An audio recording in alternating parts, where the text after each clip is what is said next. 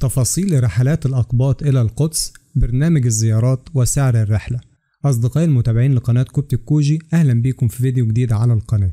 بدأت أفواج الأقباط تتوافد على مدينة القدس خلال الأيام الثلاثة الماضية بعد الانتهاء من استخراج التصاريح الأمنية للمسافرين. لا سيما وأن السفر للقدس يشترط تلك التصاريح. وذلك استعدادا لبدء أسبوع الآلام أقدس أيام السنة والذي ينتهي بعيد القيامة المجيد. وتمثل زيارة القدس أهمية كبرى للمسيحيين من مختلف أنحاء العالم حيث يقومون خلالها بزيارة أهم الأماكن التي شهدت محاكمة وصلب وتعذيب السيد المسيح. وكذلك الأماكن التي شهدت التفاصيل الخاصة بأيام أسبوع الآلام وأيام الصوم الكبير. ونستعرضها لحضراتكم على النحو التالي. أولا برنامج الزيارة. يشمل البرنامج السنوي للحجاج الأقباط زيارة المعالم المسيحية في مدينة القدس للاحتفال بعيد القيامة وهي عين كارم وكنيسة يوحنا المعمدان وحقل الرعاة ثم التوجه إلى بيت لحم لزيارة مغارة الحليب وكنيسة المهد.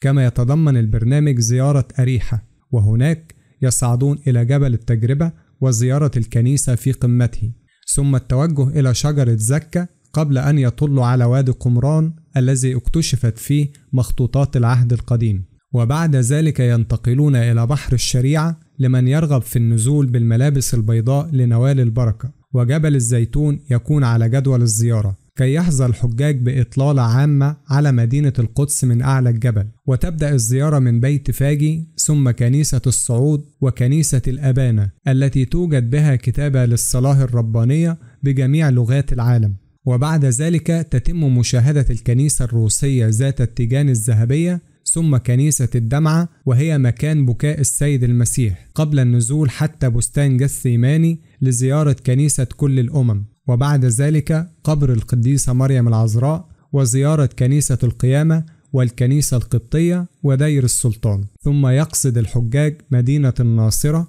لزيارة كنائس البشارة وقانا الجليل والتبغة أو عين السبع وهي كنيسة معجزات الخمس خبزات والسمكتين ثم الصعود إلى جبل التطويبات قبل التوجه إلى كفر نحوم لزيارة منزل حماد سمعان التي شفاها السيد المسيح من الحمى. ويتم الصعود إلى جبل طابور لزيارة كنيسة التجلي. مع نهاية الرحلة يكون على الحجاج زيارة جبل صهيون حيث قبر الملك داود وكنيستي صياح الديك ونياحة مريم العذراء. ثم المشي على خطى السيد المسيح في طريق الآلام عبر 14 مرحلة والتوجه إلى منزل قيافة حيث حبس المسيح فيه والمرور بالتتابع على كنائس القديسة حنة وبئر سلوام والجلد حتى الوصول إلى كنيسة القيامة التي تحتوي على الجلجسة وهو مكان صلب المسيح وعمود الجلد ومكان التكفين والقبر المقدس. والختام يكون مع حضور خروج النور المقدس من قبر السيد المسيح. ثانيا أسعار الرحلات. في شهر فبراير الماضي فتحت شركات السياحة المصرية باب الحجز لرحلات القدس للأقباط هذا العام بعد أن صدرت الضوابط المنظمة للحج الديني والتي سمحت للأقباط البالغين من العمر 41 عاما فيما أكثر بأداء الحج لهذا العام. وأعلنت الشركات عن أسعار الرحلات حيث تبدأ من 13 ألف جنيه دون تذاكر الطيران. وتصل إلى 35 ألف جنيه شاملة تذاكر الطيران. وتختلف الأسعار حسب نوعية ومكان فندق الإقامة. وبحسب نموذج الإعلان لإحدى الشركات فإن أولى أفواج الرحلات تنطلق في 10 إبريل وتمتد الأفواج في الوصول حتى نهاية الشهر. وتشمل زيارة عدة أماكن هي بيت لحم والقدس وجبل صهيون طريق الآلام وأريحة وجبل التجربة والبحر الميت وجبل الزيتون.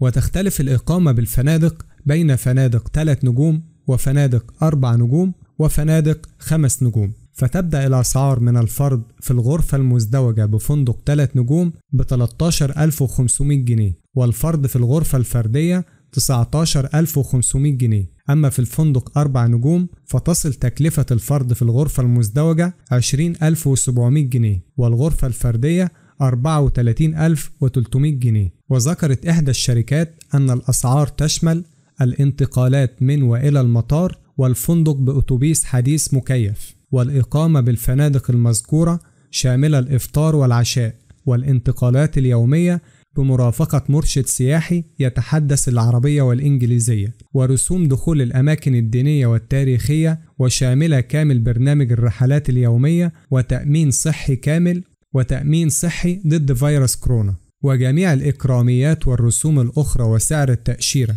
فيما أشارت إلى أن السعر غير شامل تذكرة الطيران فقط لا غير على أن يتم تحديده بناء على تاريخ الحجز الفعلي. ويتراوح عدد الشركات السياحية المنظمة لحج الأقباط هذا العام ما بين 30 إلى 40 شركة فيما من المتوقع أن تضم الرحلات من 6 إلى 7 ألاف مواطن قبطي بزيادة نحو 25% عن العام الماضي. تمنياتنا للأقباط المسافرين لنوال هذه البركة بألف صحة وسلامة والعودة سالمين وأن يذكرونا في صلواتهم في جميع هذه الأماكن المقدسة.